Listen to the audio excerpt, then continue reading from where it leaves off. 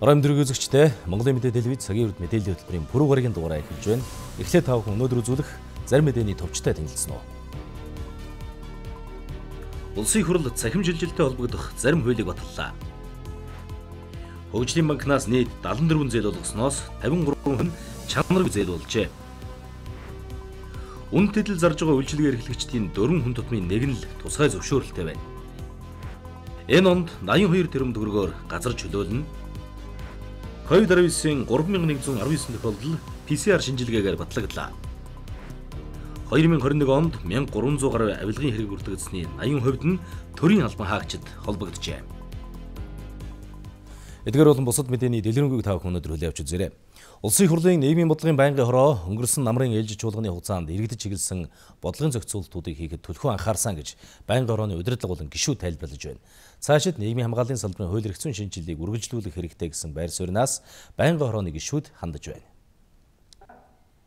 Улсын хурал хөдөлмөрийн тухай хуулийг шинжилэн найруулж 2022 оны 1-р сарын 1-ээс мөрдөж байгаа юм. Тухайн хуулиар бол хөдөлмөрийн харилцааны шинэ хэв шинжид нийцүүлсэн томоохон зохицуултууд хийгдсэн. Ажил олгогч ажилтан холбогдох талуудын эрх үүргийг тодорхой болгосон гэж Улсын хурлын нийгмийн бодлогын байнгын хорооны гишүүд тайлбарлаж байна.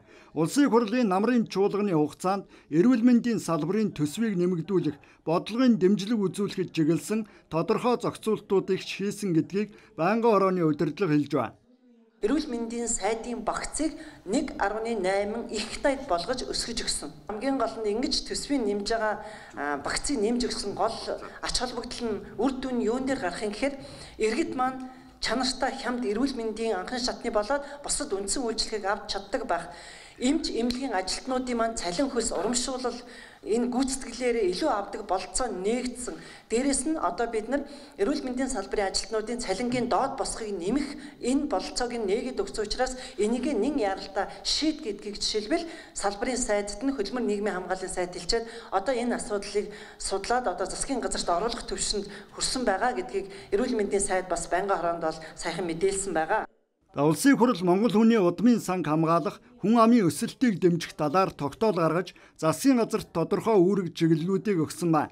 Тухайн тогтоолын хүрээнд ургийн гажгийг эрт илрүүлэх, онцлох технологийн дэвшлиг нэвтрүүлэх асуудлыг хөндөж байгаа юм. Бас нийгмийн бодлогын байнгын хорооны хувьд иргэдийн тэтгэврийг нэмэгдүүлэх боломжийг судлах ажлын хэсгийг байгуулсан байна. За энэ их усүрийг тодорхойлох, ахмадынхаа тэтгэврийг нэмэгдүүлэх ийм одоо баг гараад ингээ ажиллаж байгаа. Тэгээ энэ чиглэлд бол бид нар бол тодорхой шийдлийг засгийн газартаагаа хамтарч гаргана гэж үзэж байгаа. Тэгээ энд бол айхтар тийм судалгааны ажил гэхээсээ илүүтэй хамгийн гол нь их үсрийг нь хаанаас гарах вэ? Ямар одоо үйл ажиллагааг нь хоош нь тавьж эхний ирэмбэнд энэ ахмадын тэтгэврийн асуудлыг шийдэх вэ гэдэг ийм шийдлийг гаргах ажлын хэсэг гараад ингээд ажиллаж байгаа. За улсын хурал өнгөрсөн хугацаанд эрүүл мэндийн салбарын санхүүжилтийн тогтолцоог боловсронгуй болгоход чиглэсэн зарим талын зохицуултыг хийсэн цаашид эрх зүй орчныг боловсронгуй болгох ажил үргэлжлэнэ гэсэн тайлбарыг байнгын хорооны зарим гишүү өгч байна. Монгол улсын 330 суманд ажиллаж байгаа одоо эрүүл мэндийн төв буюу одоо сумын эмнэлгүүдэд олгодог нэг иргэнээр тооцож олгодог санхүүжилтийг хоёр дахин нэмэгдүүлж чадсан одоо том одоо ажлыг хийсэн.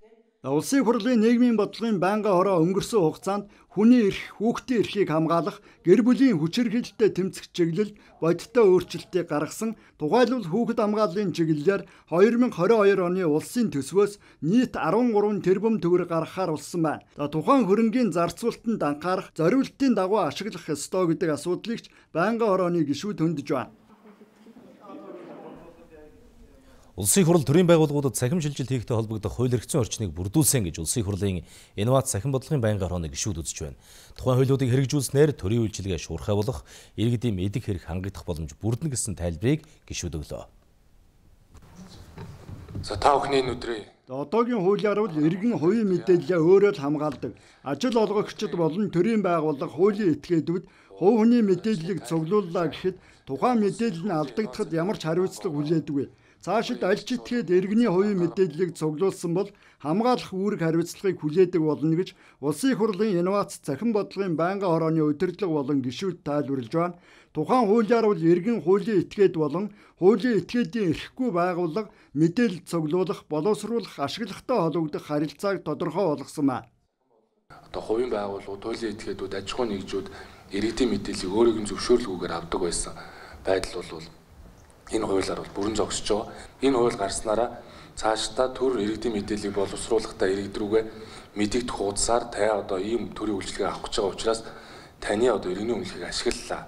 А таныг одоо газрын гэрчлэгийг хүссэн учраас таны одоо энэ мэдээллийг ашиглалаа шүү гэдэг нотификейшн маягаар мэдэгдэх хуудас явуулдаг болоод эхлэхээр төр миний мэдээллийг ямар үед ашигласан бэ гэдг нь бас тодорхой болж өгнө гэсэн.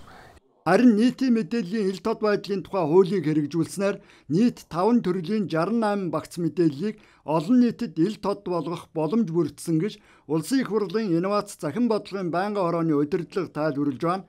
Тухайлбал байгууллагуудын сул ажлын байрны мэдээлэл, барилга ашиглалтад хүлээн авсан улсын комиссийн шийдвэр, тендер шалгаруулалтын баримт бичгүүд, тусгай зөвшөөрөл эзэмшигчийн мэдээлэл, дархан цаазт бүс нутагт газар эзэмшигчийн мэдээлэл болон ашигт малтмалын лиценз эзэмшигчийн мэдээллийг нийтэд ил тод болгох хууль эрх зүйн боломж бүрдсэн гэсэн тайлбарыг байнгын хорооны гишүүд өгч байгаа юм.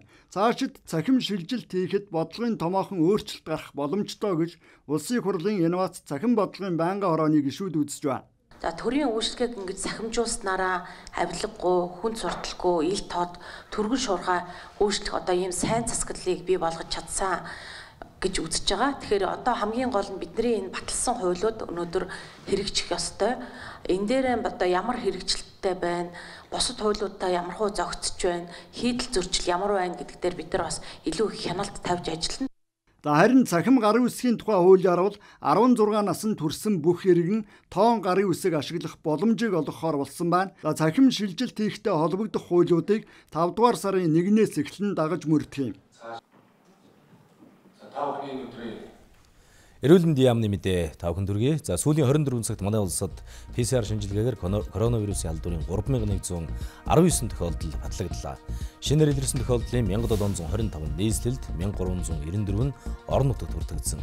Өнөөдрийн байдлаар коронавирусын халдвараар өвчлсөн 9748 иргэн эмнэлэг твтэн эмчилүүлж байна. Биеийн байдлаар нь ангилбал хөнгөн 3214, хөндөвтөр 5579, хүнд 879, нэн хүнд 76 хүн байна. Мөн гэрийн хяналтад 47172 хүн байгааг эрүүл мэндийн яамнаас мэдээллээ. Нийслэлийн 7 дүүргийн 12 амбулаторт коронавирусын халдварын үзлэг хийхээр боллоо. Тодорхойлбол коронавирус туссан шинжилгээгээр батлагдсан иргэд үйлчлүүлэх бөгөөд эрентгийн шинжилгээ өгөх боломжтой. Тус лабораториуд ажлын өдрүүдэд 9-өөс 20 цаг хүртэл, амралтын өдрүүдэд 10-аас 15 цаг буюу уртсгсан цагаар ажиллана. Энэ амбулаториудад хүүхдийн болон дотрын эмч ажиллах бөгөөд зөвхөн ковид өвдөсөнд батлагдсан өвчтнүүдэд үйлчлэх учраас улаан бүсэд тооцогдно. Тиймээс өвдөс нь шинжилгээгээр батлагдаагүй болон шинж тэмдэг илэрсэн хүмүүс энэ амбулаториудаар үйлчлүүлэх шаардлагагүй гэдгийг мэрэгжилтнүүд анхаарууллаа.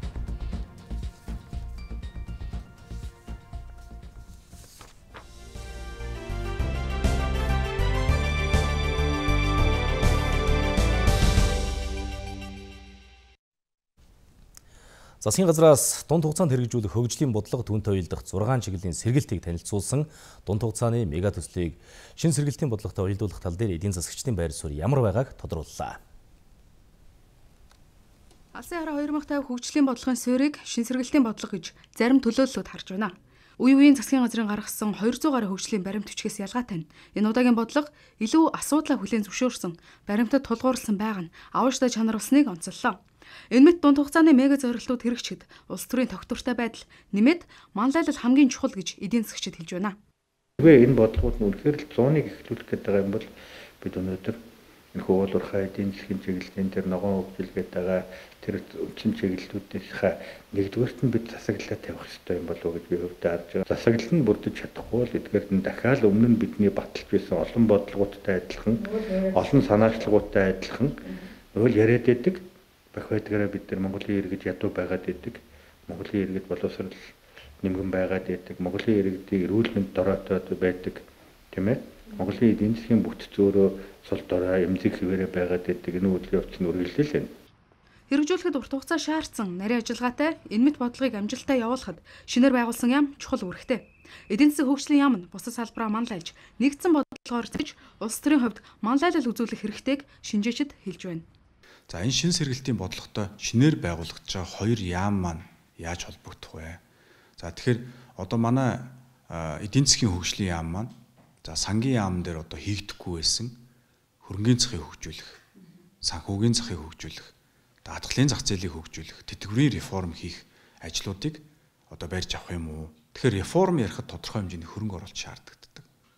Тэгээд сангийн яамны дор одоо ихэнх эдийн засаг санхүүгийн эрх мэдэл төвлөрсөн одоо явж ирсэн учраас реформ хийгдэлгүй өнөөдрийг хүрлээ.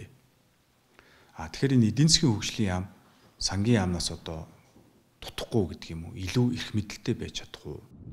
Эдийн засгийн бүтцийн хувьд манайхтай ойролцоо улсуудын жишгээс дунд хугацааны төлөвлөгөө хэрхэн хэрэгжиж болохыг харж байна. Чил, Перу зэрэг улуурхаагаас аж үйлдвэрлэлөө шилжих зорилт тавьсан ч амжилт олоогүй жишээ олон байна. Монгол шиг ийм өнөөгийн институтста дээрэс нь ингээд урт дунд хугацааны бодлого ингэж тогтвортой хэрэгжүүлдэг сонгуулийн циклээс хамааралтай орны хувьд тэр бодлого бол бүр асар хэцүү болж өрж байгаа юм. Хүмүүн капитал буюу одоо хүндээ суурилсан, боловсрлоо суурилсан, мэдээлэл технологи суурилсан толгоогоор одоо гаднаас доллар орж ирдэг иймэрхүү бизнесүүд биднэрт бол хэрэгтэй. Дунд хугацааны хөгжлийн бодлого амжилттай хэрэгжснээр 2025 он гэхэд нэг хүнд ногдох дотоодын нийт бүтээгдэхүүн ойролцоогоор 8-аас 6 мянган Америк доллар болно. Нийтдээ 90 гаруй төсөл хөтөлбөр хэрэгжих шаардлагатай учраас 300 мянга гаруй ажлын байр энд бий болох юм. Тиймээс товлсон төслүүдийн тэзүү батлагдсан цагаас нь урьдчилж хүний нөөц боловсон хүчний анхаарах хэрэгтэйгч шинжээч зөвлөлөө. Авилгатай тэмцэх газар төрсэн өргөдөл гомдлын 60 орчим хувь нь газрын харилцаатай холбоотой байна. Иймээс газрын эзэмших хөмжлөгтэй холбоотой бүх төрлийн харилцааг цахимаар авах боломжийг бүрдүүлэх зорилт тавьсан. Үүний үр дүнд хүн суртал, өргөө зардал буурахаас гадна газрын зөрчлийг шийдвэрлэх боломжтой гэж харж байгаа. Гол нь хот төлөвлөлтийн бодлоготой зөрчилдсөн газар олголтын асуудалж цэгцэрнэ гэж үзэж байна. 2021 онд нийслэлд газар чөлөөлөх нөхөө олгорт 5.7 тэрбум төгрөг зарцуулж байсан. Харин 2022 онд 82 тэрбум төгрөгийн өртгөөр газар чөлөөлөх ажил хийнэ. Үүнээс гадна зөвшөөрлгүй хашаа хайс, гараж буулгаж газар чөлөөлөх ажлын зардалд 1 тэрбум 600 сая төгрөг зарцуулна. Тодруулбал 4800 гаражийг албатан буулгаж 10 га газрыг чөлөөлж нийтийн эзэмшилд авахар төлөвлөжээ. Нийслэлийн замын төгжрөлтийг бууруулахаар нэг 68.9 тэрбум төгрөг газар чөлөөлөхөд за нийслэлийн газрын сургууль цэцгийн газар чөлөөлөхөд 13 орчим тэрбум төгрөг төсөлөгдсөн. Энийг бол бид нар бас судалгаа шийдвэрлэгийг хийгээд газар алгад юу нөхөн олгортой газар чөлөөлөх ажилд ороод эхэлсэн байна газар ашиглах эзэмших зөвшөөрлийг хот төлөвлөлтийн дагуу олгоогүйгээс болж газар чөлөөлтийн зардал нэмэгдэж байгаад олон нийт шүмжлэлтэй ханддаг. Гэтэл энэ дутагдал хөдөөгийн сумддаж тулгамцсан асуудал болсон тухай ярьлаа. Хот байгуулалтын асуудал бас цэгцгүй явж байгаа юм байна. Аа тийм учраас одоо 2021 онд Хинтээ аймгийн бэрх дадал сумын хөгжлийн төлөвлөгөө бол хийгдээд за тэрнийхээ дагуу бол цаашдаа шийдлийнхээ асуудлуудыг бол яриа явж байгаа. Энэ мэт газрын харилцааг төлөвлөлтийн дагуу зохион байгуулахын тулд газар ашиглах, эзэмших, өмчлөгтэй холбоотой үйлчилгээг цахимд шилжүүлсэн. За сүүлийн 4 сард 30 мянга гаруй иргэн цахим үйлчилгээ авчээ. Үүний үр дүнд За энэний хүрээнд бол 600 гаруй сая төгрөгийн хэмнэлтийг бол бодитоор одоо иргэдэд үзүүлсэн. Урд нь бол одоо газрын гэрчлэгээ, кадастрын зургийг заавал өөрөө одоо биеэрээ очиж хэвлүүлж тийм ээ авдаг байсан бол одоо бол бид хүн ямар ч үн төлбөргүйгээр өөрөө шууд одоо цахим системээс ямар ч төхөөрөмжөөс шууд хэвлж аваад одоо юугаас шийдвэрлэх боломжтой болсон байна. Иргэн одоо кадастрын зургийг газрын албанаас 2500 төгрөгөөр авдаг байсан бол үнгүй авч байна. Тэгээд гэрчилгээний мөнгийг бас төлдөг байсан бол бүх үйлчлэгээ үнгүй авч байгаа. Ингэснээрээ нөгөө иргэний карманаас гарах нийтдээ 621 сая төгрөгийг бол одоо усан хэмжээнд бол хэмсэн юм үр дүн байгаа. Иргэд өөрийн биеэр газрын албанд очих шаардлагагүй. Ингэснээр нэг улиралд 600 гаруй сая төгрөгийг хэмнэж чадсан байна. Цаашид газрын харилцааг илүү хүнд сурталгүй иргэдэд нээлттэй хүртээмжтэй болгохын тулд газрын тухай багц хуулийг шинчлэх илүү олон үйлчлэгийг цахим болгож хялбаршуулах зорилт тавьж байгаа талаар өнөөдөр болсон газрын харилцааны салбарын удирдах ажилтны зөвлөгөөнөөр хэлэлцлээ. Энэ жил анх удаа Баян хонгор аймгийн Баянлаг сумын 20 га талбайгаас 13 тонн цагаан будаа хурааж авсан. Эх орны хөрсөн тарж ургуулсан цагаан будаа шим тэжээл өндөртэй импортыг орлох хүнсний бүтээгдэхүүний тариалтыг цаашдаж нэмэгдүүлэх боломжтой. Энэ онд тариалт үргэлжилж Ховд аймгийн Алтай булган сумдын 100 га талбайд тариалт хийхээр болсон байна. 10 жилийн туршлага судалгаанд үндэслэн эх орны хөрсөнд цагаан бодоо тариалах ажлыг хувийн хөвшил дангаар хариуцж эхлүүлсэн юм а. Өнгөрсөн жил 13 тонн цагаан бодоо хураа авч энэ жил тарих хүрээ бэлтгэсэн байгаль цагуур хөрснөөс хамаарч Ховд аймгийн Алтай булган суманд нийтдээ 500 га талбайд тариалт хийнэ. Энэ жил эхний ээлжинд 100 гад тариалт хийх юм байна. Ер нь бидний харж байгаа бол энэ дулаан баланс хүрч байгаа эдгээр газрууд дээр цагаан будаанаас гадна дулаан хангамж шаарддаг тармил ургамлуудыг хургуулах юм боломжтой гэдэг байдлаар бид нар ингээд судалгаа хийгээ явж байгаа. Тэгэхээр энэ жилийн үед бол бид нар Баянлигээс гадна Ховд аймгийн Алтай сум, Булган сум дээр авсан газрууд дээр бид нар цагаан будаа одоо доторх тариалахаар төлөвлөж ажиллаж байна. Энэ дээр болоо Алтай сумн дээр 300 га гэдэг байдлаар, Булган сумн дээр 200 га гэдэг байдлаар газруудаа одоо тодорхойлцсон судалгааны ажлууд явж байгаа. Эндээсээ бид нар одоо чадвал энэ жилдээ нэг 100 га газар хүртэл тарих зорилт тавьсан ажиллаж байна. Баянлаг суманд 20 гад тариалт хийж 13 тонн цагаан будаа хураа авсан. Энэ жилийн хувьд тариалах газраа 5 дахин нэмж ургацаа ариун хураахаар төлөвлөжээ.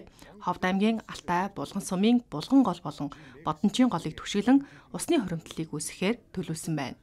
Ховд аймгийн Булган сум өөрөө Булган голтой. Дээрээс нь бас булаг булгийн уснууд бий. Бид нар голын усыг яаж ашиглах вэ? Бороо цас гадрын усыг яаж ашиглах вэ гэдэг чиглэлээр судалгааны ажлууд хийж байна. Ховд аймгийн Алтаасан бол Бодончийн гол гэдэг том голтой. Дээр үед одоо Бодончийн боомын амд услааны системтэй ингээд явж исэн. Услааны асуудлыг бол мэдээж нуур цөөрөн байгуулна, хоримтлал үүсгэн усны. Тэгээ усны хоримтлал үүсгэх нь өөрөө нөгөө тариалтын эрсдлийг бууруулж байгаа. Одоо ган гачигч гэдэг юм уу те урахгүй байвал яана усгүй болвол яана гэх асуудлыг бол тэр нуур зөрөм хоримтлын ус хийж байгаа учраас хангаж байгаа. Га талбайд одоо олон жил цагаан будаа тариад тарих юм бол мэдээж тэр одоо хөрсний үржил шим нь багасч авах ургацын хэмжээ нь багасна. Тийм учраас одоо баянлагт болохоор нэг га талбайгаас 8 тонн цагаан будаа авч яана гэж би дараа нь 2 3 жил 4 5 жил тариад ирэх юм бол тэр тоон маань багасна. Тэгээд Тийм учраас бид нэр дахиад нөгөө нэг шин газар одоо ховдын булган алтай сум тарих чашиг бас ахаад бас тарих талбайтай тийм одоо хөрс ус дулааны нийлбэрийн тохиромжтой тийм газараас сонгоод судлаад туршаад тэр газар бас тарина. Ойрын 5 жилийн хугацаанд мянган гад цагаан тариа бод Ойрын 5 жилийн хугацаанд мянган гад цагаан будаа тариалахаар төлөвлөж байна. Энэ онд тариалсан цагаан будааг дотоодын зах зээлд 200 тонныг нь худалдан борлуулахаар төлөвлөжээ. Нэмэгд сүртгийн албан татврын тухай хуулийн дагуу улирал бүр нэмэгд сүртгийн албан татврын 2% буцаан олгодог. 2021 оны 4-р улиралд нэмэгд сүртгийн албан татврын буцаан олголтоор 1.2 сая иргэнд 63 тэрбум төгрөгийг буцаан олгоно. 4-р улирлын буцаан олголтыг 1-р сард багтааж иргэдийн дансан шилжүүлнэ. Өнгөрсөн 2021 оны 3-р улирлаас эхлэн нэмэгд сүртгийн албан татврын буцаан олголтоор хөрөнгөний татваруудаа шинтгэлгүй төлөх боломж бүрдсэн. Энэ дагуу 56 мянган иргэн хөрөнгөд ноогдох татвар болох 6.1 тэрбум төгрөгийн хөрөнгийн татвараа төлөх боломжтой. Нэмэгд суурьтын албан татврын буцаан олголтоор шимтгэлгүй хялбар аргаар хөрөнгийн татвараа и баримт дээрээ нэмэх боломжтой гэж татварын ерөнхий газраас мэдээлж байна. За эрчим хүчний салбарын тухайд энэ өвлийг өндөр ачаалтай даван туулж байна. Тэгвэл эрчим хүчний сүлжээний ачааллыг хуваалцаж өрхийн хэмжээнд эрчим хүч үйлдвэрлэж байгаа сайн жишээ байна. Сүхбаатар дүүргийн 20 дугаар хорооны иргэн Осгон Баатрих өрхийн эрчим хүчний хэрэглээний 60 гаруй хувийг өөрсдийн байгуулсан нарны станцаар хангаж байна. Хүлэмжийн ялгарл дэлхийн одоо дулаарлын эсрэг ямар ч хэсэг хүлэмжийн ялгар болохгүй. Тэгээ наварын бохирдол нөлөөлөхгүй жижигчгсэн эрчим хүчний шийдлийг гаргаж одоо хувь нэмэр оруулъя гэсэн тийм туйлын зарлага байна. Өрхийн хэмжээнд эрчим хүч үйлдвэрлэдэг Осгон баатрийн цахилгааны хэрэглээ ямар байгааг харуулъя. Эднийх нарны станцаараа 416 ватт эрчим хүч үйлдвэрлэж байгаа бол төвийн сүлжээнээс 109 ваттын эрчим хүч авч байна. За өдөрт нийтдээ 421 ваттын эрчим хүч хэрэглэж байгаа бол илүү гарсан 118 ваттаар нөөц батарейгаа цэнэглэж байгаа юм. Өөрөөр хэлбэл эрчим хүчний хэрэглээнийхээ 63%-ийг өөрсдөө үйлдвэрлэж байна харин 37%-ийг сүлжээнээс авч байна. Энэ бол ачаалттай байгаа эрчим хүчний салбарт дэм болсон шийдэл юм. За тодруулбал эднийх 15 кВт-ийн суйрлагдсан хүчин чадал бүхий нарны хоёр цахилгаан станцын их усүрийг ажилуулж байна. За миний ард харагдаж байгаа энэ нарны хавтан 10 кВт-ийн чадал бүхий суйрлагдсан хүчин чадалтай. За үүнээс гадна зай хураагуур бүхий 5 кВт-ийн чадалтай. За нарны цахилгаан эрчим хүчний их үүсвэрийг ажилуулж байна. Ингэснээр эднийх нийт эрчим хүчний хэрэглээнийхээ 60 гаруй хувийг өөрсдийн үйлдвэрлэсэн эрчим хүчээр хангаж байгаа юм. Нэг хавт нь болохоор нэг 400 ватт юм байна л байгаа. Ингээ харах юм бол 3.2 одоо киловаттыг одоо энэ нарнаас авч байгаа. Нарны эрчим хүчийг шууд аваад цаашгаа инертээр дамжуулаад шууд эрчим хүч болгоод байгаа. Дэлгэцнээс ирж байгаа тогтмол гүйдэл юм аа хөөсөх гүйдэл болгож байгаа энэ 380-ын хөөсөх гүйдлийг сүлжээтэй хамтран үйлдвэрлэж байгаа 10 кВт-ийн станц байгаа. Өвлийн үйлрэлд бол 8 9 мянган кВт цаг эрчим хүчийг хэрэгжилж байгаа. За тэгэхээр нарныхаа станцаар бид нэг сүлжээний тодлогч станцаар бол 1000 орчим кВт. За дээр нь мөн энэ 5 кВт-ийн станцаар 1000 орчим кВт-ыг үйлдвэрлэхэд 2000 орчим кВт-ыг үйлдвэрлэж байгаа. За тэгэхээр өвлийн үйлрэлд бол 30 40% хангаж байна. За хаврын үйлрэлд бол 70 80% хангана. 100 бол орг 100% хангана. Ингээ жилийн дунд ч одоо нарны эзлэх хөвөл ер нь 50-аас 60%д 60% орчим бол нараар хангана гэсэн тийм тооцоод байгаа. Маш өндөр үнээр эрчим хүч 1 кВт цаг бүтэж байдаг. Өнөөдөр бид борлуулалтын үн ямар байгаа вэ эрчим хүч нэ. Тийм учраас бол 1 кВт цагийн эрчим хүчийг зэн хэмжээ байвал энэ эрчим хүчнээс салбартуул хувийн нэрээ өөрийн гэсэн хувийн нэрээ оруулж байна л гэсэн утгатай үг. Эрчим хүч үйлдвэрлэгч айлууд төвийн сүлжээнд эрчим хүч нийлүүлэх боломжтой болсон. Хэрэглэгчийн сэргээгдэх эрчим хүчний үүсгүүрээс түгээх сүлжээнд нийлүүлсэн цахилгааны киловатт цагийн тарифыг 140-оос 221 төгрөг байхаар тогтоосон юм а. Өрх болон аж ахуй нэгж өөрийн хэрэгцээнд сэргээгдэх хэмжээний их усүр тавьбал төвөө сүлжээнд холбох журам гарсан. Энээс хойш бол хүмүүсийн идэвх санаачлага ихсээд өнөөдрийн байдлаар бол нэлээд өсөлтүүд ирсэн байгаа. Өдрийн цагаар одоо нартай уй сүлжээнээс аваад илүүгээ буцаа сүлжээнд өгөхт нэг 20% сүлжээнд өгөх нөхцөл бүрдээд байгаа. Өрхийн хэмжээнд яг ингэж эрчим хүч үйлдвэрлэх айл өрхийн тоо нэмэгдэж байна. Энэ хэрээр эрчим хүчний салбарын ачаал буурч агаар орчны бохирдол нэмэгдэхгүй байх сайн талтай юм а. Монголын үндэсний олон нийтийн радиогийн 5 эрдэнэ нэвтрүүлгийн нэрмжит Алтан төлөлийн эзэд энэ жил 44 дэх жилдээ тодорч байна. Малсруугийнхаа удмын санг сайжруулж нийгмийн хариуцлагатай амьдарч нутаг орныхоо хөгжилд манлайлсан зэрэг олон шалгуурыг үндэслэн 88 малчинд энэ шагналыг холог хоруулжээ. Мөн энэ жилээс Алтан төлөгийн эздийг гэр бүлээр нь хамттан шагнадаг болж байна. 1978 оны хаврын тэргүүн сард Алтан төлийн эздийг тодруулснаас хойш Монголын үндэсний олон нийтийн радио хүнс хөдөө аж ахуй яам хамтран тасралтгүй 44 жилийн шагналыг олгож байна. Энэ жилийн хувьд гендрийн үндэсний хороотой хамтран төл мал өсгөх ажилд хамгийн их үүрэг хүлээдэг гэргийн нарыг хамттад нь Алтан төлийн эзнэр шагнаж байхаар болжээ. Хинти аймгийн галшар гэж галшар омгийн ямаа гэж батлагдсан. Энэ цөмсргийг малалж энэ ямааг өсгөж энэ ямааг бүтээсэн малчинд алтын шигний эзэн өгж явах жишээний олдох хомгийн тэмээ гэж. Энэ тэмээг олон жилуудаа тасралтгүй сайлжруулж ашиг шимийн гарцыг нэмэгдүүлж ингэний ферм хүртэл байгуулсан ийм саад орж авахта Бачиргал гэдэг хүнийг одоо Алтан батгонд бид бүхэн өндөр оноо тавьж явах жишээний. Энэ бол гэрийн эзэгтэй та Алтан төлийн эзэн боллоо. Гэрийн зөвхөн гэрийн эзний ингэр дээр Алтан төлийн эзний тэмдэг очирдог биш. Гэр бүлийн одоо хоёрт нь хоёуланд нь өгч байна гэсэн юм утга. Энийг бол бид бүхэн бас өнөө гендрийн тэгш байдлын үндэсний хороотой хамтраад бас нэг ийм санаачлагыг хэрэгжүүлж байгаа. Үүнээс хойш бол дандаа ингэж явна.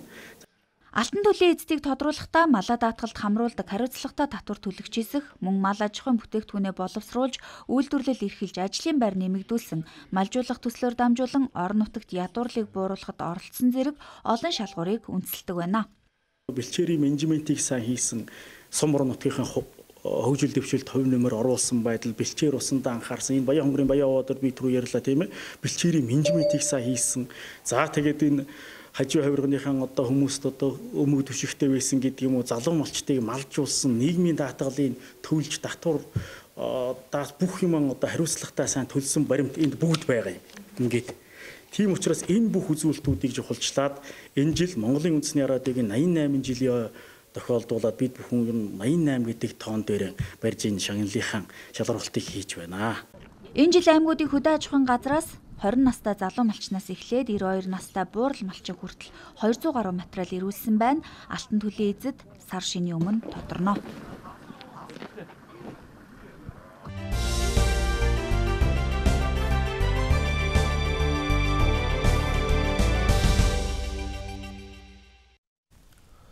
Өнөөдөр ардчилсан нам цаг үеийн асуудлаар мэдээлэл хийлээ. Тусламж үзүүлэх ёстой эмч совилогч нар халдвар авбал хэрхэн ажиллахыг тодорхой болох хэрэгтэй байгааг онцолж байна. Халдвар авсан ч ажлаа хийгээд явж байгаа эмч эмнэлгийн ажилчид маш олон байна. Иймээс тэдний цалинг нэмэх, илүү цаг урамшууллын мөнгийг тодорхой болох хэрэгтэйг хэвлэлийн хурлаар онцоллоо.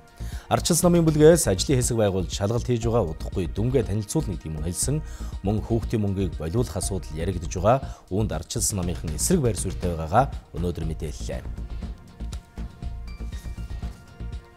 Өнөөдөр 11 цагийн орчимд түл шачсан том оврын ачааны автомашин суудлын автомашинтай мөргөлдсөн осол гарлаа. Осол гарсан дараа үед цагдаагийн бие бүрэлд хүн ажиллаж хэмжилт хийсэн осны шалтгааныг наривчлан тогтоохоор ажиллаж байна гэж тээврийн цагдаагийн албанаас мэдээллээ.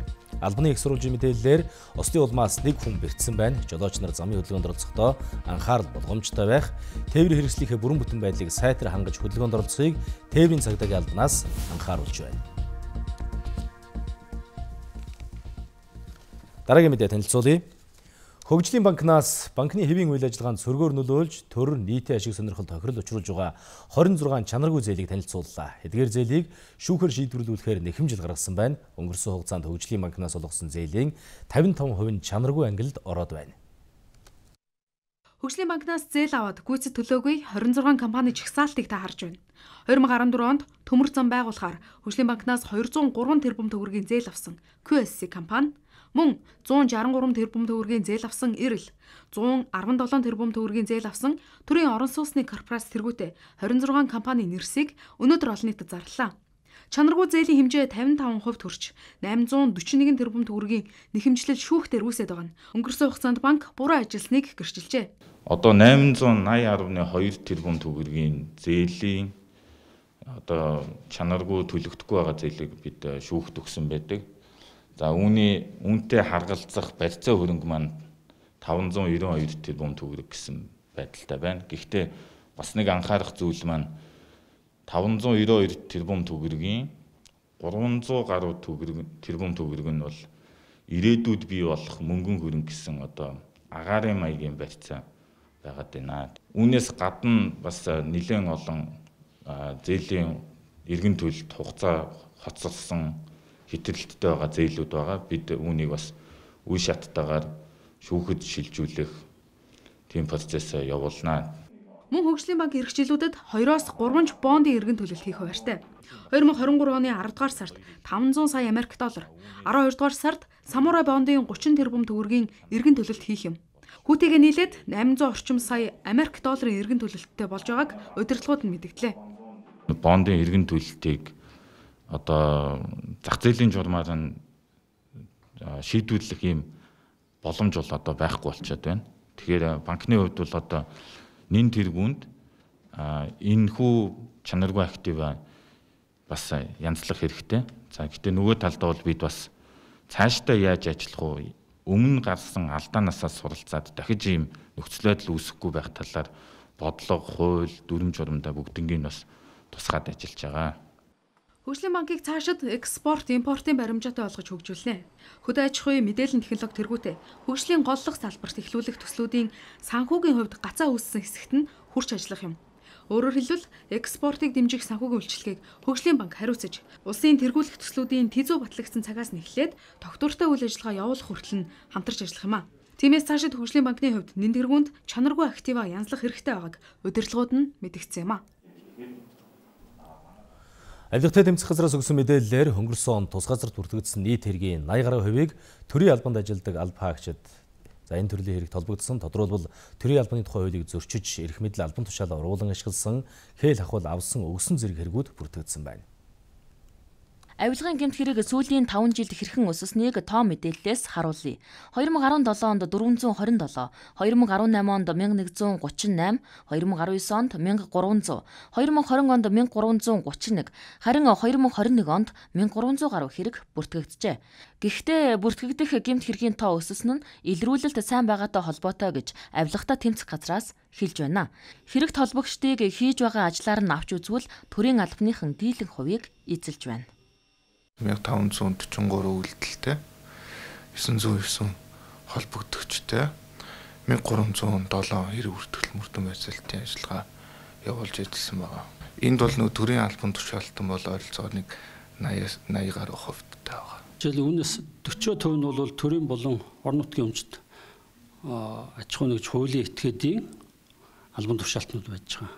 За 20-од хувь нь төрийн үйлчлэгээний албан тушаалтнууд үйлчлэгээний албаны 10% нь 10-од хувь нь төрийн улс төрийн албан тушаалтнууд улс төрчид тийм ээ. За 16 орчим хувь нь тусгай 10 мөн 16 нэг орчим хувь нь төрийн царайны албан тушаалтнууд байгаа юм. Авилгын гэмт хэрэг жил ирэх бүр ингэж нэмэгдэж байгаад удирдах албаны томилгоо хамгийн их нөлөөлж байгааг судалгаагаар тогтоожээ. Төрийн албан хаагч тэр дундаа ирэх бүхий албан тушаалтнууд авилгын хэрэгт холбогдсон тохиолдол их байгааг их сурвалжууд ярьж байна энэ авилга администрийн мэтрэд холбогдсон а ингээд шүүхийн шийдвэр нь гарсан 115 төрлийн албаа хаагчтай холбоотой энэ асуудлыг бүхэн судлаад үнэхээр одоо төрийн албанд ажиллаж байх юм бол тэрээ албанаас бол халах энэ одоо тоон байгуулалтын арга хэмжээг авахаар ингээд төлөвлөгөө ажиллаж байгаа. Төрийн жинхэнэ албан хаагч авилга албан тушаалын гэмт хэрэгт холбогдсон бол төрийн албанаас чөлөөлнө. Харин эрүүгийн гэмт хэрэг үйлснэ нь шүүхээр тогтоогдож, ял шийтгэл эдэлсэн бол дахин төрийн албанд ажилуулахгүй байх хуулийн зохицуулалт байна. Манай улс жилд дунджаар 2 ихнэ төгрөгийг барилгын материал зарцуулдаг гэсэн судалгаа бий. Үүний 70 орчим хувийг импортын бараа материал эзэлж байна. Харин жил ирэх тусам барилгын материал эрэлттэй болж орон сууц нэмэгдэж байгаа энэ үед энэ төрлийн бараа бүтээгдэхүүний үн 2 дахин нэмэгджээ. Тиймээс энэ салбарт нэгдсэн бодлого зохицуулалт чухал байна. Манай улсад 6000 гаруй иргэн 2000 орчим аж ахуй нэгж байгууллага барилгын материалын худалдаа эрхэлдэг. Хил хааснаас шалтгаалan бараа бүтээгдэхүүнээ авч чадахгүй байгаагаас энэ төрлийн худалдааны үн өссөн байна. Мөн барилгын худалдаа эрхлэгчид тулгамдсан асуудлаа ингэж ярьж байна. Энэ хил гайлын асуудал. Чингэлэг олдохгүй бол чингэлгийн худалдаа тавчих гэхээр 1200 доллартай байсан чингэлэг зах зээл дээр өсөх тоо дэлхийн зах зээл дээр зарагддаг гэсэн чингэлэг маань одоо ингээд Монгол гэхээр 12 сая болцсон. Ингээд Шингэлэгтэй худлаад авчих чингэлэг нь хүртэл олдгоо байсан. Олон улсын юм дээр. Ийм байдлаас болоод бид нэг бараа бүтээгдэхүүнийг бол яг цаг хугацаанд нь хурдан шуурхай тээвэрлэх одоо ийм боломжгүй болчиход байна. 2 жилийн өмнө бол энэ асуудал бол гайгүй байсан. Одоо иймэрхүү асуудал бол бидэнд тулгараад байгаа. Жишээлбэл 2020 онд 240 мянган тонн арматур, 2021 онд 266 мянган тонн арматур импортлогджээ. Мөн энэ онд 290 орчим мянган тонн арматур импортлогдно гэсэн судалгаа байна. Энэ мэтлэн жил ирэх тусам импортын барилгын материалын бараа бүтээгдэхүүн нэмэгдэнэ. Харин энэ төрлийн бараа бүтээгдэхүүний үн цаашид нэмэгдсээр ах уу? Энэ асуудлаар бид албаны хүнээс тодрууллаа жижиглэнгийн одоо юу гэдгийг өнхрөөш ч юм уу те шпатл ч юм уу те эднэр маань бол ингэ туслах материалууд болоо явчихж байгаа. Эднэр маань үнийн өсөлт нь бол иргэдэд бол илүү их нөлөөлж байгаа. А хөөсөн цэр ч юм уу те за цемент, бетон зурмаг ч юм уу за тэгээд арматур ч юм уу. Ийм голоохон гол нөгөө нэг нэгээс 20 хүртэлх ийм хувь эзэлдэг ийм барилгын материалууд төр нэлээд анхаарал ажиллаж байгаа. Эдгээрийнхээ үйлдвэрлэл импортыг сайн нэмэгдүүлэх зохицуултуудаа хийчих юм бол 2022 онд бид нэр материалын үнийн өсөлт гэдэг зүйлээс бол ангид байх юм боломж байна гэж харж байгаа. Чимэглэг тээвэр юм уу, задгаа тээвэр юм уу, орон нутгийн тээвэрлэл гэдэг энэ автомашины тээвэрлэлтийн урсгал зам нөгөө талаас нь логистикийн асуудлыг улс ерөөсөн анхаардаггүй. Бизнес хийж байгаа хувь хүмүүс өөрсдөө 100% бие дааж тээврээ зохицуулдаг энэ асуудал нь нөгөө эргээд бизнесийн орчинд нь таагүй нөлөө үзүүлэх барилгын материалын үнийн өсөлт нь их нөлөө үзүүлж байгаа. Тэгэхээр энэ тээвэрлэл логистикийн асуудал дээр төрөөс ямар нэгэн бодлого хэрэгжилт анхаарах зүйл дээр одоо анхаарч ажиллаач гэсэн юм э, саналуудыг бол нэгтгэхэд э, холбогдох байгууллагуудад өгсөн.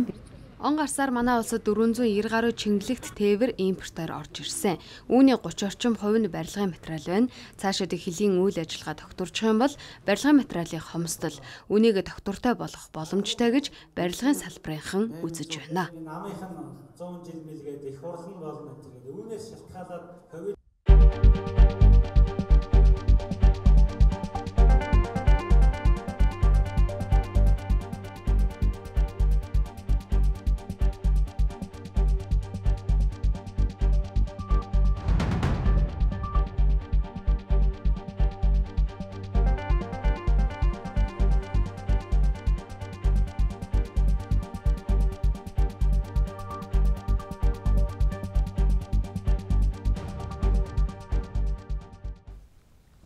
ховид Богдхан цасгийн үед Хатанбаатар Магсаржвын цэрэгт сайн дураараа илсэн байлдаж явсан партизануудын нэг бол Сэдвийн сүхэ. Тэрээр 1921 оны ардын хувьсгалд оролцож байсан партизануудын төлөөлөл юм.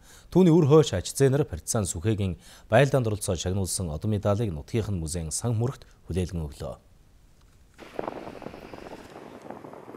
Эх орныхоо тусгаар тогтнол хөгжил дэвшлийн төлөө сайн дураараа тэмцэж явсан 20 гаруй ардын хувьсгалын партизан Дорногов аймагт байдаг. Энэ тэмцэлд говь мэрэгэн вангийн хошуунаас 15 наснд оролцож явсан Дорногов аймгийн хөвсгөл сумын харьяат ардын хувьсгалын партизан Цэдвийн Сүхэ гоён алдаргавьяг үр хойчин дурсаж ийм ярьлаа.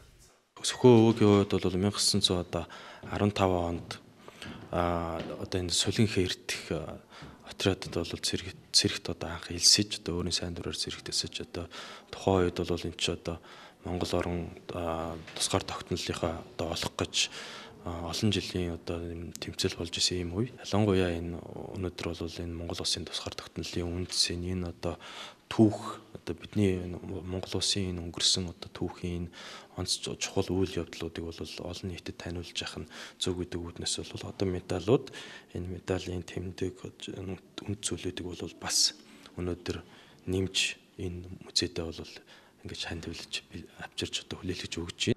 Өнөөдрийн байдлаар эдгээр дайчдад холбогдох 14 партизаны зураг эд зүйлс Дорногов аймгийн музей сургалт судалгааны төвд хадгалагдж байна. Навааны дугаар дэлхийн сүхэ гэж хоёр партизаных нь нийлж хэрэгжилжсэн эдүүлгийн зүйлүүд нас байгаа. За одоо жишээлх юм бол навааны дугаар гэж хүний болохоор цэмбэн цов хадгалагддаг. За тэгээд сааху ховин сав гэдэг нөгөө гэр орондоо хэрэгжилжсэн эдүүлгийн зүйлүүд нас хадгалагддаг байгаа. За дэлхийн сүхэ гэж хүний болохоор Атан Батар Магсарч аваас бэлгийн тавьж исэн сэлэн болон малгай. За тэгээд эмэйл гэсэн олдурууд бол манай музейд хадгалагдаж байгаамаа. Ардын өвсгөлийн үйл хэрэгтээ сайн дураараа оролцож явсан бусад партизаны зураг, холбогдох материалыг орон нутгийн музейд сургалт судалгааны төвийн сан хөмрөгт өгөх боломжтой гэдгийг холбогдох албаныхан онцоллоо. Ялалтын талбай болон төв зөнгөлт хүрээлэнд жижиг дунд үйлдвэрлэлийг дэмжих зорилготой цагаан сар үзэсгэлэн худалдаа эхэллээ. Жижиг дунд үйлдвэрлэгчдийг дэмжих үзнээс талбайн түрээсээс 100% чөлөөлсөн зөвхөн дотоод үйлдвэрлэсэн хүнсний бүтээгдэхүүнийг нэг дор худалдаалж байгаагаараа онцлогтой юм байна. Бидний эхний зорьсон газар бол ялалтын талбай. Энд Архангай малчны хотноос малчин бүр өөрсдийн хийсэн цагаан идэ сүү сүм бүтээгдэхүүнийг авчиржээ. Цагаан сарын үзэсгэлэн худалдааг малчтын орлогыг нэмэгдүүлэх зорилгоор жил болгон зохион байгуулагч цар тахлаас шалтгаалan 2 жил зогссон байна. Энэ үзэсгэлэн худалдаа энэ сарын 30-ныг хүртэл үргэлжилнэ. Хар бол нэг 20-оос 25 хооронд л байна да тий. Зэгтэй чихрүүгээс болгоо тий. Энэ жил нөгөө нэг бүх юмны нэмэгдсэн болохоор тэгээд яг тий. Тээв шатхан одоо бензинаас яасан болохоор. Тэгээд энэ жилийн хувьд бол ер нь түрээсгүй байна. Цаанаасаа өнгөлтөө тэгээд 2 жил тасалтаад тэгээд энэ жилээс дахиад зөвхөн байгуулдаг чинь тэгээд ер нь бол гайгүй байна. Чэнж гэл бид нэг худлаа явах юм тэгээд Тиймгүүгээр өөрсдийн гараас авах нь бас сэтгэл үйг байна. Ингиж авчирж, ингэж үзэсгэлэн худалдаа гаргах чинь ард түмэнд ойртоод их зүгээр юм. Тэгээд энэ цагаан эдэн чанартай оригиналаараа юм байна. Мөн төв цэнгэлдэх хүрээлэнд тариаланчид болон зөвхөн эх орондоо үйлдвэрлэсэн дээл гутал арьсан төрөвч зүгийн бал гэсэн бүтээгдэхүүнийг борлуулж байлаа. Уламжлалт цар шинийн баяраар гаднаас бэлэг болон хүнсний бүтээгдэхүүн авахаас илүү дотоодын бүтээгдэхүүн хэрэглэх нь жижиг дунд бизнес эрхлэгчдийг дэмжих ач холбогдолтой. Ноос ноолон бүтээгдэхүүн одоо арьс ширэн бүтээгдэхүүн одоо хуваарь одоо эрхлэгч одоо гар орлын хийдэг усуудын бүтээгдэхүүнийг одоо энд бол хүмүүстэй бол арай үйлдвэрээс баг үнээр одоо хүмүүстэй зарж борлуулж нийлүүлэх одоо тийм боломжийг хангаж өгч байгаа маа. Бүрээс байхгүй хин ингүүл одоо амьдрах гэж ажамжаа 5 цаас ковидтай үед тэгэл одоо бас бол болцоо болцоог нь харуулад ингээд зогсооно гэдэг чинь аюу мундал байна. Иргэдийн хүнсний аюулгүй байдлыг хангах зорилгоор мэрэгжлийн хяналт болон холбогдох байгууллагууд хяналт тавьж ажиллаж байна. Цар тахлын халдвар өдөр бүр нэмэгдэж байгаа энэ үед үзэгслэн худалдаанаас иргэд зөвхөн гэр бүлийн хэрэгцээний хүнсний бараа бүтээгдэхүүн худалдан авч байлаа. Эрхэм үзэгчдээ цагийн хүрд мэдээллийн хөтөлбөр олон улсын мэдээгээр үргэлжилж байна. Олон улсын мэдээлэл сүрхэр студид орчуулагч редактор Чин Заяа ажиллаж байна. Тэгэхээр Америкийн нэгдсэн улсын тухай тав хүртэлх насны хүүхдүүдэд вакцинжуулах тухай яригадад эхэллээ. Энэ ажил хязгаарнаас эхлэх вэ? За Америк нэгдсэн улсад 5 хүртэлх насны хүүхдүүдийг ирэх 2 дугаар сараас вакцинжуулж эхэлнэ гэсэн ерөнхий төлөвлөгөө гараад байна. Гэ мэдээллийн дэлгэрэнгүй хүргье. За Америк нэгдсэн улс ирэх 2 дугаар сараас эхлэн 5 хүртэлх насны хүүхдүүдийг вакцинжуулж эхлэх төлөвтэй байна гэж цагаан ордны эрүүл мэндийн ахлах зөвлөх доктор Энтони Паучи мэдгдлээ. Харин 5 хүртэлх насны хүүхдүүдийг Pfizer вакцины 3 тунд хамруулах магадлал нь өндөр байна. Pfizer компани эмнэлэг зүйн туршилтаар 2-4 настай хүүхдүүдэд коронавирусны эсрэг вакцины 2 тунг хийхэд хангалттай дархлаа тогтоогүй байна. Тиймээс одоо явагдаж байгаа туршилт амжилттай болвол 5 хүртэлх насны хүүхдүүдийг вакцинжуулж эхлэх хүсэлтэд Америк нэгдсэн улсын хүн сэмэн чанарын хяналтын газар дүгнэ гэлээ. Цагаан орны эрүүл мэндийн ахлах зөвлөх доктор Энтони Паучи мэдэгдэхдээ эх сарын дотор хүүхдүүдийг вакцинжуулна гэж найдаж байгаагаа илэрхийлсэн байна. Мөн Pfizer компанийн эмнэлзэн туршилтад 6 сартаагаас 4 нас хүртэлх хүүхдэд 3 микрограмм тунгаар вакцин хийх нь аюулгүй болох нь батлагдсан гэлээ. Харин насан туршидчдын нэг тун тарилга нь 30 микрограмм байдаг. 5-аас доош насны хүүхдүүд одоогоор вакцинд хамрагдах боломжгүй цорын ганц ангилал учраас өвчлөл ихсэж байна. Ялангуяа сүүлийн нэг сарын хугацаанд Америк нэгдсэн улсад олон нийтийг хамарсан гоц халдварт омикрон хувилбар хурдцтай тархаж байгаа нь хүүхдийн эмнэлгийн ачааллыг эрс нэмэгдүүлсэн юм. Америк нэгдсэн улсын 14 мужийн хэмжээнд хүүхдийн 250 эмнэлгээс цуглуулсан мэдээлэлээс харахад 5-аас доош насны 100 мянган хүүхэд дотмын 8 нь омикрон хувилбарын халдвараар эмнэлэг твцэнгих судалгаа байна. Америк нэгдсэн улсын өвчний хяналт урдчилсан сэргийлэх төвийн захирал доктор Рошел Валенский сэтгүүлчдэд хэлэхдээ харамсалтай нь одоогоор коронавирусны эсрэг вакцинд хамрагдаж амжаагүй байгаа 5-аас доош насны хүүхдүүдийн эмнэлэг твдэгж эмчлүүлэх төвшин тгээс 4 хүртэл нэмэгдсэн байна. Энэ бол бага насны хүүхдүүдэд вакцинд хамруулаагүй байгаатай холбоотой гэжээ. Сүүлийн нэг сар гаруй хугацаанд дэлхийд даяараа бүртгэгдэх халдварын тоо 7 хоног тутамд 20% нэмэгдэж байгааг Дэлхийн эрүүл мэндийн байгууллагаас мэдээлсэн юм. Энэ нь омикрон хувилбарын халдвар сүүлийн хувилбар бишээ гэж тус байгууллагаас гаргасан цэрэмжлүүлгийн дүгнэлт юм а. Мордорсгол хоёр хийн хоолойн төсөл баталгаажаагүйтай холбоотой хямрал Европын орнуудад нүүрэлсээр инфляци сүүлийн 30 жилийн хугацаанд хамгийн дээд түвшинд хүрээд байна. Европ даяар эрчим хүчний нөөц багасч үн өснө хэрэглэгч бүрийн хитвчэд нөлөөлж байгааг эдийн засагчид онцолж байна. Их Британий үндэсний статистикийн газраас өнгөрсөн 12 дугаар сард тус улсын инфляц 5.4% хүрсэн гэж мэдээлж байсан. Харин инфляц өсөх болсон гол шалтгаан нь нийлүүлэлтийн сүлжээний тоглолтлоос гадна эрчим хүчний хямралтай шууд холбоотой гэж эдийн засагчид үзсээр байна. Дэлхийд даяар геополитикийн асар том үйл явдлууд тохиосоор байгаа нь Их Британий энгийн иргэдийн санхүүд нөлөөлж эхэлжээ. Тухайлбал Мордын урсгал хоёр ихийн хоолойн асуудлын эргэн тойронд өрнөх маргаан Их Британи болон Европын холбооны орнуудын иргэдийн гар утасны төлбөрт ч нөлөөлж эхэлжээ. Гар утасны төлбөрөөс эхлээд өргөн хэрэглээний бараа бүтээгдэхүүний үн өссөн Германы зүгээс Мордын урсгал хоёр ихийн хоолойн төслийг баталгаас татгалзсантай холбоотой гэж BBC агентлагийн нийтлэлчид онцлсан байна.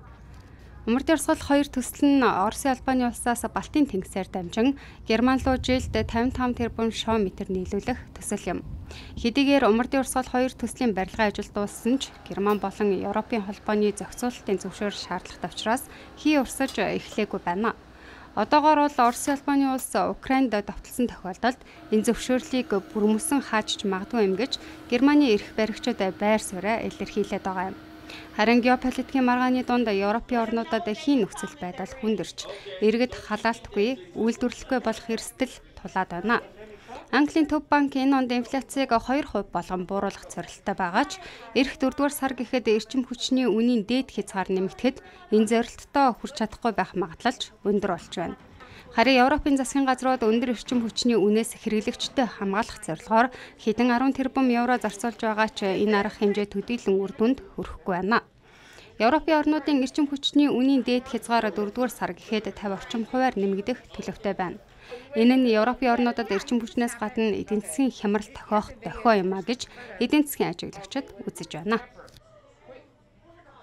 Номхон далайн орнуудад нэг шаардлагатай байгаа цэвэр ус хүнсний хангамжийг тээвэрлсэн анхны тусламжийн хөлөг онгоц Тонгод ирлээ. 5 хоногийн турш аврах багийнхан болон Тонгогийн сайн дурын иргэд хүчин чармайлт гарган нисэх онгоцны буудлын гол зурвасыг цэвэрлэж чадсанаар Шинэ Зеландын тусламжийн онгоц амжилттай газартлаа. Гинтийн аюул өнгөрсний дараа нэг шаардлагатай ус хүнсний хангамжгүйгээс хямрал нүрлэх төгсөн Тонгогийн асуудал эхнээсээ шийдэгдэж байна. Олон хоногийн турш аврах багийнхан болон олон зуун сайн дурынхан төрдөг тэрэг хүр зашиглан нисэх бодлын зурвасыг цэвэрлж чадсныг маш гайхалтай хүчин чармаалт байлаа гэж тусламжийн албаныхан дүгнэлээ. Мөн тусламжийн анхны онгоц Boeing C-17 Globemaster нь хөөрх зурвасыг цэвэр байлгахад туслах шүүрдэх тоног төхөөрөмжтэй байсан нь ихээхэн нэмэр болсон байна. Тонгод хоёр онгоц газардсан бөгөөд нэг нь C130 Hercules онгоц юм а. Геркулес онгоцоор усны саво цахилгааны үүсвэр эмнэлгийн анхны тусламжийн багаж хэрэгсэл харилцаа холбооны хэрэгслүүд ирсэн байна. Харин далаагаар ирэх тусламжийн хөлөг онгоцоор 250 мянган литр гаруй цэвэр ус, далайн уснаас давсыг ялгах төхөөрөмж ирэх болно гэж Шинзеландын батлан хамгаалах яамнаас мэдгдлээ. Мөн Тонгод тулгамдсан дараагийн асуудал нь цар тахлыг алдах эрсдэл болж байна.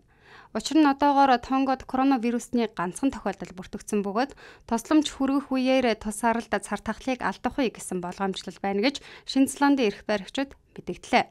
Манай гарагт сүүлийн 30 жилийн хугацаанд тохиолсон хамгийн том дэлбэрэлтийн дараа 3 хүн нас аваад байна. Тонго улс дэлхийн бусад улсаас 5 хоног холбоо тасарсны дараа өнөөдрөөс л харилцаа холбоогоо дөнгөж цэргээж эхэлж байна. Бүгд найрамд харчин Солонгос улсын эрх баригч намын хурал энэ 7 хоногт эхэлсэн. Тэгвэл Ким Жон Уны тэргүүлсэн өчигдрийн хуралдаанаар төр зогсоосон цөмийн бүх хөтөлбөрүүдэд дахин эхлүүлэхээр хилэлцэж байна. Лав гарагт болсон улс төрийн товчооны хуралдааны үеэр Ким Жон Ун Америк нэгдсэн улстай хийх урт хугацааны сөргөлтөөнд бэлтгэж байгаагаа зарласан байна.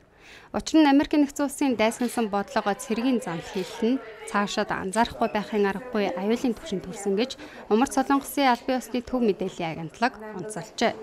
Энэ нь Умард Солонгосын зүгээс Америк нэгдсэн улс болон өмнөдийн талтай ихтгэлцлээ бэхжүүлэх хүрээнд цуцалсан цөмийн хөтөлбөрүүдэд дахин сэргээх асуудал юм а. Цөмийн хөтөлбөрийг эргэн сэргээх хүрээнд төр зогсоосон бүх үйл ажиллагааг эхлүүлэх асуудлыг нэн даруй шалгахыг холбогдох салбарт үүрэг болгосон билээ. Умар Солонгос энэ сард дөрвөн удаагийн баллистик пожингийн туршилтыг хийгээд байна. Үүний хариуд Америк нэгдсэн улс болон нэгдсэн үндэсний байгууллага шинэ хориг арга хэмжээг авах зөвлөлдөх хуралдааныг өнөө орой Нью-Йоркийн цагаар хаалттай хуралдахаар болсон байна. Мөн өмнөд Солонгосын талаас Умар Солонгос цэргийн парад зохион байгуулахаар бэлтгэж байгаа. Гэхдээ арга хэмжээ яг хизээ болох нь одоогоор тодорхойгүй байна гэж мэдгдлээ.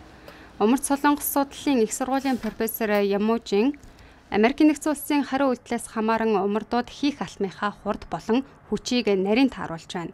Энэ нь Солонгосын хойгийн нөхцөл байдал 2017 оных шиг өдөөн хатгалах, хориг арга хэмжээний харгас мөчлөгийн нэрмэгдээр ирсэн гэсэн үг гэж дүгнэлээ. Мэргэжилтнүүдийн үзэж байгаагаар умардын тал Америк нэгдсэн улсад үзүүлэх дарамт шахалтаа улам бүр нэмэгдүүлэн зэвсгийн туршилтыг хийнэ. Учир нь эх 2 дугаар сарын 16-нд Ким Чин Ирийн 80 насны ой, эх 4 дугаар сарын 15-нд Ким Ир Синний 110 жилийн ой тус тус тохионо. Тэгшэнүүд тохиох чухал үед Ким Жон Ун илүү анхаарлаа хандуулж цэргийн бараадаач зохион байгуулах магадлалтай гэж дүгнжээ. 2019 онд Америк нэгдсэн улс болон Умард Солонгосын дээд хэмжээний уулзалт амжилтгүй болсноос хойш нөхцөл байдал эргээд тогтворгүй болж байна.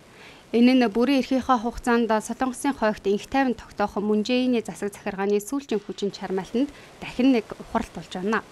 Бүгд найрамдах Солонгос улсын ерөнхийлөгч Мунжээний бүрийн эрхийн 5 жил нь эх 5 дугаар сард дуусна. Харин тус улсын ерөнхийлөгчийн сонгуулийн кампанид ажил эх 3 дугаар сард эхлэх юм. За өнөөдөр олоосод хамгийн их анхаарал татсан онцлог үйл явдлын мэдээлэлээс хүргэлээ. Та бүхэн дөрвөлээ. Хөтөлбөрийн төгсгөлд орой өдрүүдийн нийт нутгийн цагаагаар мэдээг цагаагаар хөтлөгч Ариун Зоё хүргэж байна. Өчим төргийн үзэгчтэй малчид дэргэдийн харалт 21 22-нд Баруун аймагуудын нутгаар 23-нд ихэнх нутгаар 24-нд бол зүүн аймагуудын нутаг орчимд цас орохыг анхааруулъя. Одоо 1-р сарын 20-ны 20 цагаас 21-ний 20 цаг хүртэлх Монгол орны нийт нутгийн цаг агарын мэдээг лэгцэн дээр танилцуулъя. Бид бүхний харж байгаачлан баруун аймагуудын нутгийн баруун хэсэг орчмоор бол үүлийн мас гарцангуй их үйлэрхэг байна. Бусад нутгаар бол солигдмал үүлтэй. Урдан тосны хэвд шөндөө баруун аймагуудын нутгийн баруун болон хойд хэсэг, төвийн аймагуудын нутгийн баруун хойд хэсгээр Өдөртөө бол баруун аймагуудын нутгийн ихэнх, төв аймагуудын нутгийн зарим газар, говийн аймагуудын нутгийн зүүн хэсгээр цас орно. Бусад нутгаар бол цас орохгүй.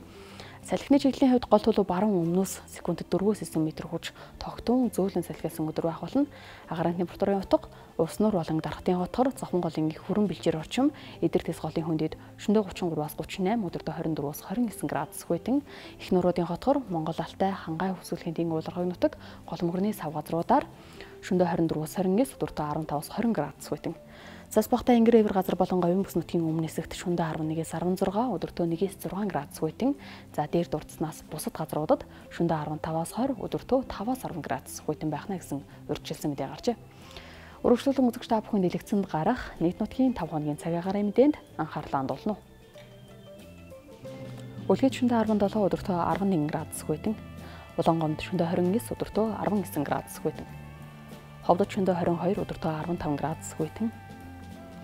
Алтай хотод шөнөдөө 18, өдөртөө 7 градус хүйтэн. Улаастай шөнөдөө 20, өдөртөө 10 градус хүйтэн. Тосон цэнгэл шөнөдөө 24, өдөртөө 17 градус хүйтэн. Баян хонгор шөнөдөө 19, өдөртөө 9 градус хүйтэн. Мөрөн шөнөдөө 17, өдөртөө 9 градус хүйтэн. Хатгал шөнөдөө 19, өдөртөө 10 градус хүйтэн. Цэцэрлэг хотод шөнөдөө 18, өдөртөө 9 градус хүйтэн. Хар хорин шөндө 18 өдөртөө 8 градус хүйтэн. Арваа хэр шөндө 15 өдөртөө 7 градус хүйтэн. Булган шөндө 20 өдөртөө 9 градус хүйтэн. Дархан хотод шөндө 20 өдөртөө 12 градус хүйтэн. Эрдэнэт шөндө 17 өдөртөө 8 градус хүйтэн. Чойр шөндө 17 өдөртөө 6 градус хүйтэн. Скватер шөндө 20 өдөртөө 12 градус хүйтэн зүүн хараад шөндөө 23 өдөртөө 13 градус хүйтэн. Зүүн модод шөндөө 18 өдөртөө 10 градус хүйтэн. Багнуурт шөндөө 22 өдөртөө 10 градус хүйтэн. Чингис хотод шөндөө 23 өдөртөө 12 градус хүйтэн. Баруун уртад шөндөө 20 өдөртөө 10 градус хүйтэн. Чабасан шөндөө 22 өдөртөө 11 градус хүйтэн. Мандалгав шөндөө 17 өдөртөө 7 градус хүйтэн. Далан цатгад өчөндөө 17 өдөртөө 6 градус хүйтэн, хамбогд өчөндөө 14 өдөртөө 5 градус хүйтэн.